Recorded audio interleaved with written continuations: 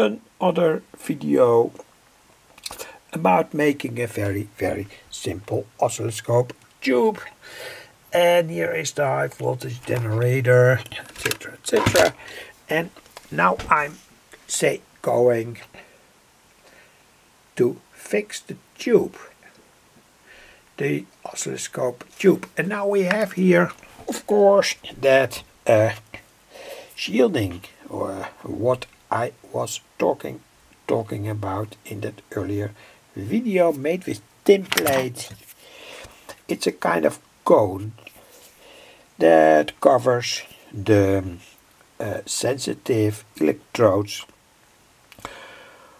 of that uh, cathode ray tube, the DG732. But uh, perhaps interesting to tell, and perhaps uh, I did not focus so much in my earlier videos on that issue.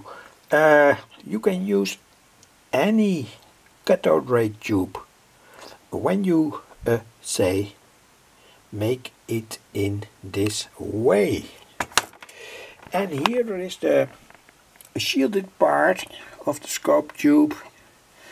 Here there's tin plate uh, this kit by the way is a very very good quality kit.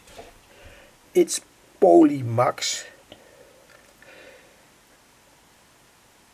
Black and the black uh, color of this kit works at its best. Anyway and I have to say used here kit but tomorrow when all that kit is uh, cured and hardened out I will surely say strip strip it out cut it out with a knife so that I can move the uh, cathode ray tube properly in and out to this circuit. And here say another uh, bunch blob of kit anyway. Here are all the uh, pin connections anyway. Uh, say and I've used here say a few pieces of wood that that clamp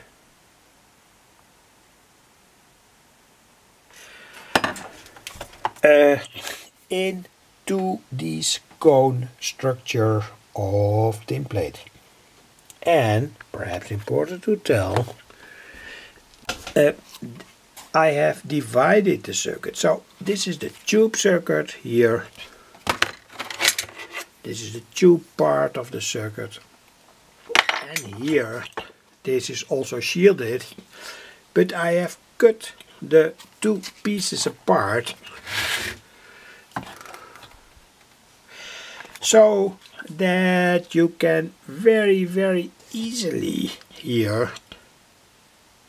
Screw that again into the front and at the same time you have here a shielded uh, front uh, and where you can mount all the things that you need.